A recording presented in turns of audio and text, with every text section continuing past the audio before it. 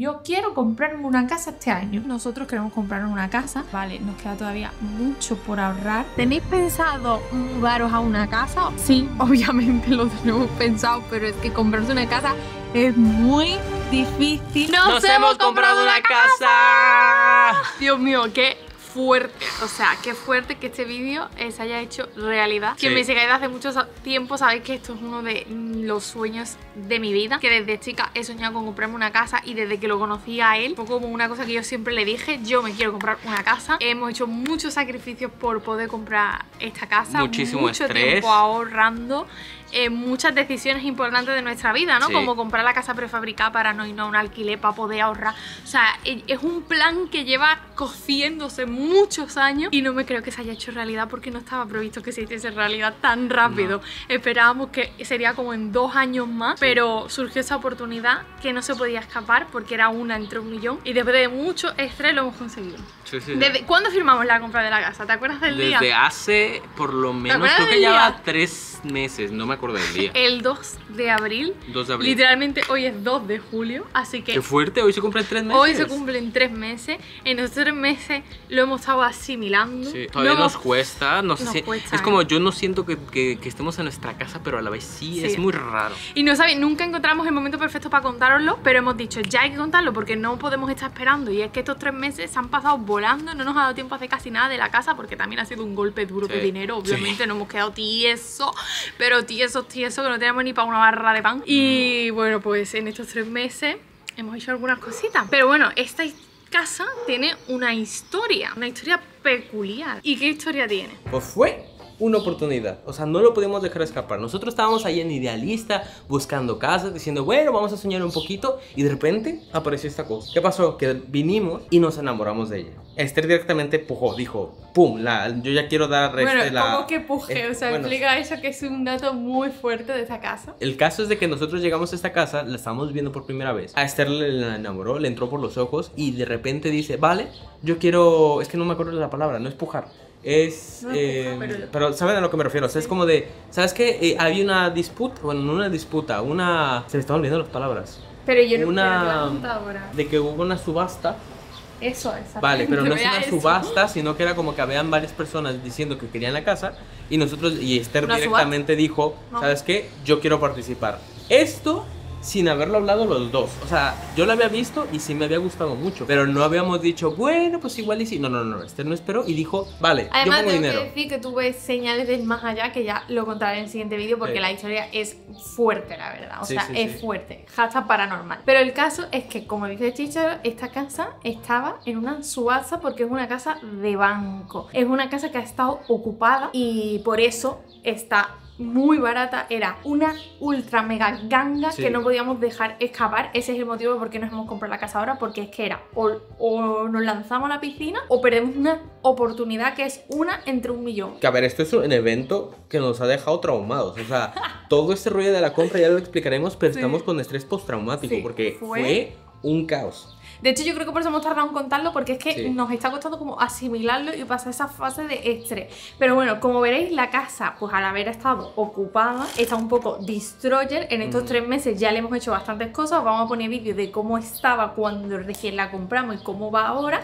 Pero esta casa necesitará una reforma que va para largo. Nuestra idea es que dure aproximadamente un año, pero yo no descarto que se alargue más, porque obviamente ahora estamos tiesos y esta reforma necesita mucho dinero. Mm, Vamos a verla, ¿no? Vamos un verla. pequeño tour. Bueno, empezamos por la entrada. Aquí tenemos la, tra- la entrada llena de grafitis, por cierto, y cosas y nombres extraños. Y tenemos como este mini porchecito con pruebas de pintura y millones de cosas. Hemos comprado dos pruebas, eh, muestras de pintura de exterior. Tenemos ahora mismo que decidir entre estos dos colores. A mí ya me está gustando más este también, pero bueno, vamos a hacer la prueba.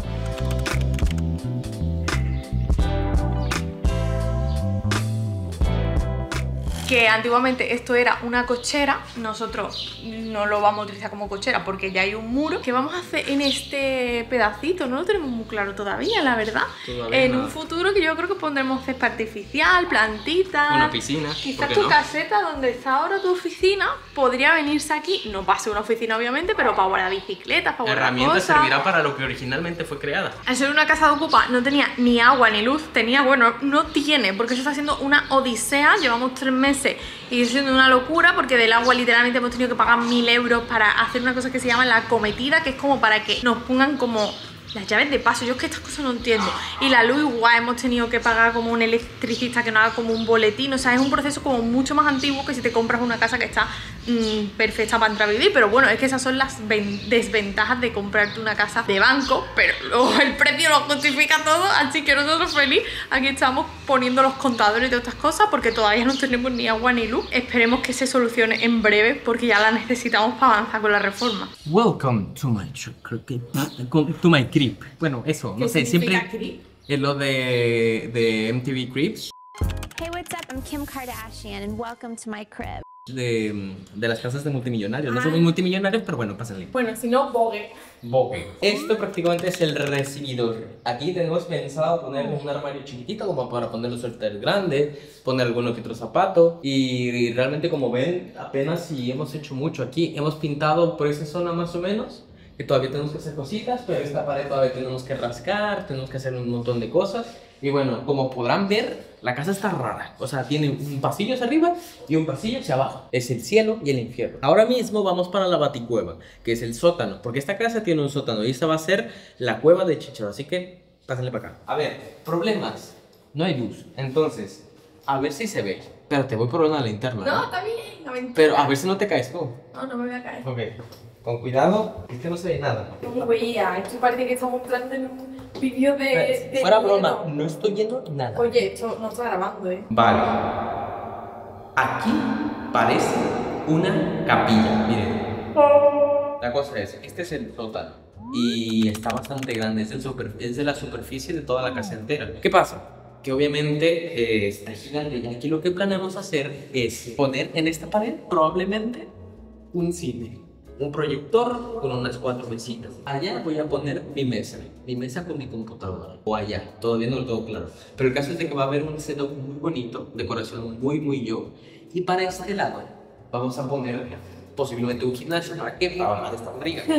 ¿Qué pasa? El suelo probablemente lo dejemos igual como está, lo que pasa es que posiblemente pongamos em, un poco de espuma, no me acuerdo cómo se llama ese suelo, pero bueno, esa zona debajo de la escalera se va a cerrar y se va a salir como la zona de almacenaje de la casa. Ya hemos salido del sótano que no se veía nada, ahora estamos subiendo las escaleras para llegar a lo que es pues la casa, casa como yo digo, donde se va a hacer vida, que es de una planta. O sea, aquí están todas las habitaciones, el baño y todo, que eso es una cosa que nos gustó mucho. Y el sótano esté separado, es una de las cosas que siempre buscábamos en las casas, que hubiese como estancias muy diferentes, por si uno quería irse abajo, no estar molestando a los que están en, en esta planta, vaya. Entramos y tenemos lo que será el salón que la verdad pues me encanta porque es súper luminoso. Tenemos una terracita fuera que ahora la enseñaremos.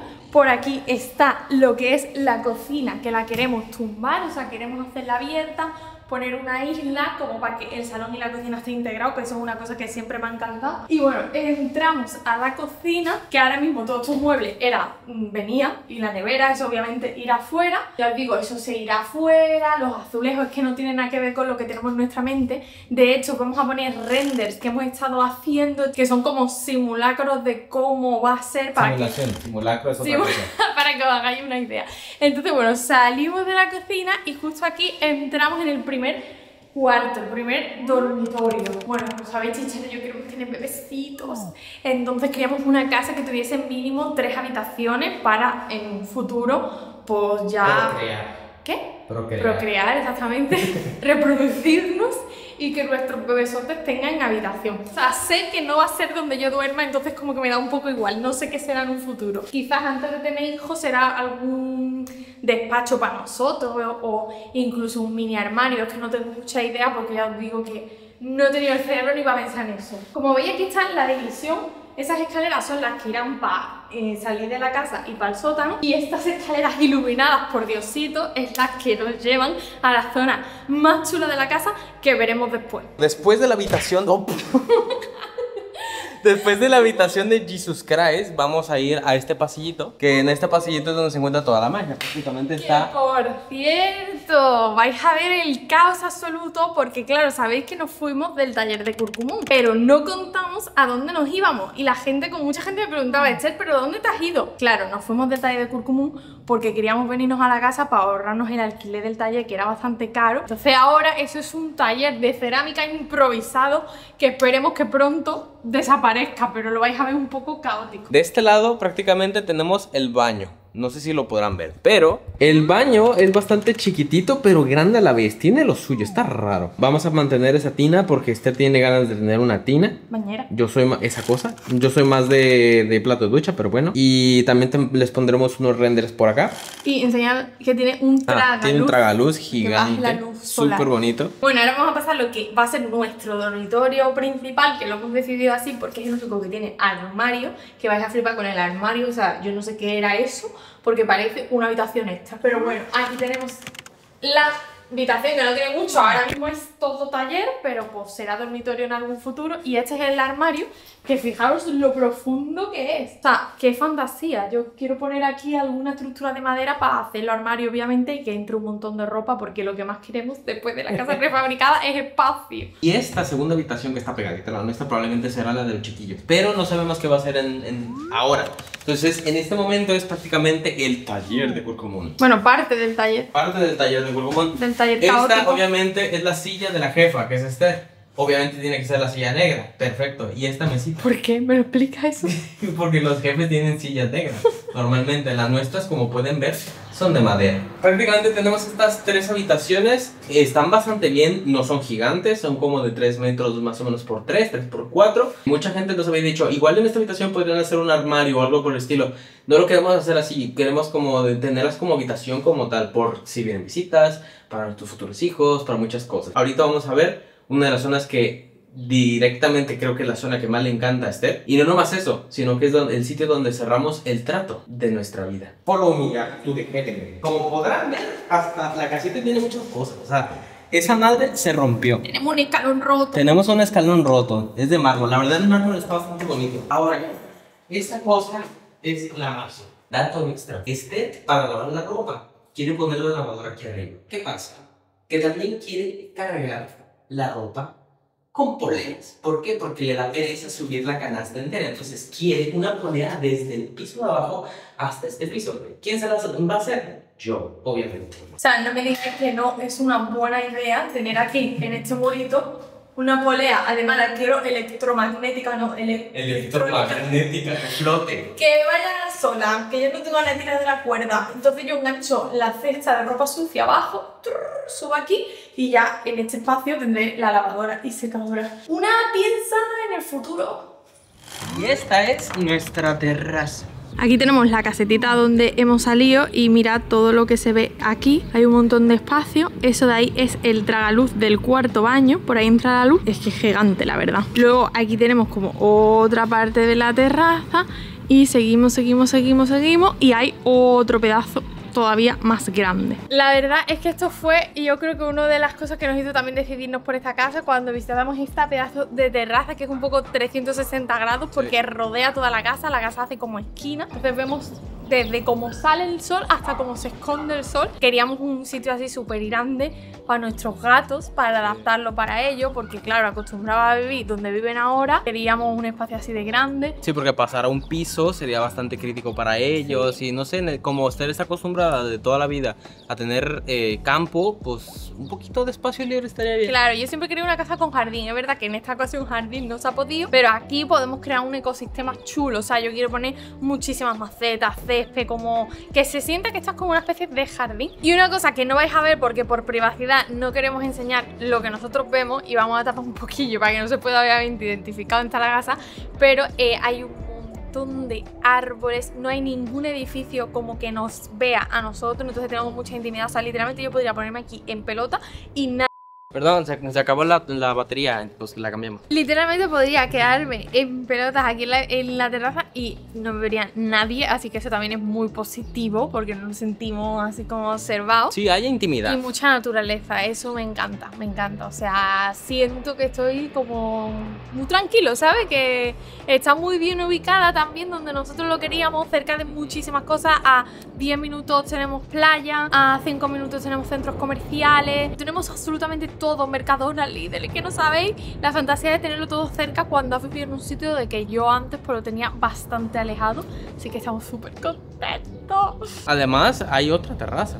Por si no lo sabían. Bueno, sí lo sabían. ¿Esa De hecho, no lo hemos enseñado. Sí lo sabían, ya lo dijo Esther, pero de todos modos vamos a ver la otra terraza. Y ya lo último que os falta por ver es esta terracita que os la hemos enseñado antes, que conecta con lo que es el salón. La verdad es que es bastante grande. Y os cuento una anécdota. Esta terraza no la vimos hasta que compramos la casa. Compramos la casa y sabíamos que había una terraza, pero no la veíamos porque desde ahí, o sea, esto estaba como tapiado, no se podía pasar cuando nos enseñaron la casa y nunca pasamos. Hasta que no compramos la casa, no fue que pudimos pasar a verla. Y tengo que decir, que cuando la vimos nos sorprendió porque nos las esperábamos más pequeñas de lo que es. O sea, yo creo que aquí es donde voy a hacer casi toda la vida de desayunar por las mañanas, salirme a pintar, salirme a hacer cosas, por la comodidad de que esté literalmente al lado del salón. Y pues bueno, aquí se acaba este pequeño video del primer tour oficial de nuestra casa. Espero que nos acompañéis en todo el proceso de la reforma que se viene intenso. Me gustaría hacer un vídeo donde os contásemos todo el proceso de cómo ha sido también conseguir la hipoteca, que eso es una historia que va para rato, cómo fue la puja, cómo te enteras de casas así de banco, cuánto nos ha costado. Es que tenemos muchas cosas que podemos contar y a la gente le puede servir de utilidad. Entonces, dejadme aquí en el vídeo